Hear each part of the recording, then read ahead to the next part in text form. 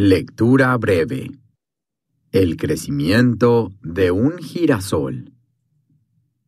Un ensayo fotográfico es un conjunto de fotografías que cuentan una historia o explican algo.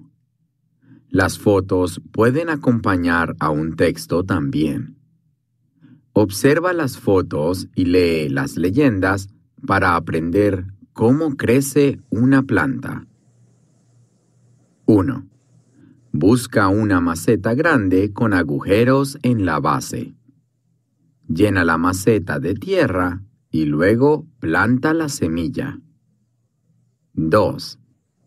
Cubre la semilla con tierra. Riégala y ponla al sol. 3. Después de algunos días, la semilla germina o comienza a crecer. Riega la plantita y ponla al sol. Esto le permite seguir creciendo. También la puedes fertilizar. 4. La planta joven se hace más alta. Asegúrate de regarla y ponerla al sol. Pronto comienza a crecer un capullo. 5. A medida que el capullo se abre, comienza a formarse la flor. Se abrió la flor.